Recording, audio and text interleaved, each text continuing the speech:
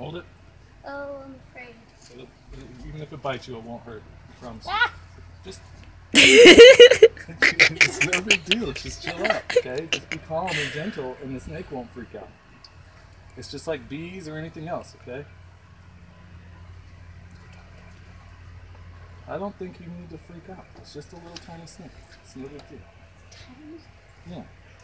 Yeah, this is tiny. Snakes get to be 30 feet long, so Oh my gosh. Not these snakes, but some do. Uh, I want to hold it. Ah, don't be afraid. Can you just hold it like that? Look. Yeah, here, I gotta say, you hold it. Ew, it feels like a big worm. Yeah. Oh wait. Ugh.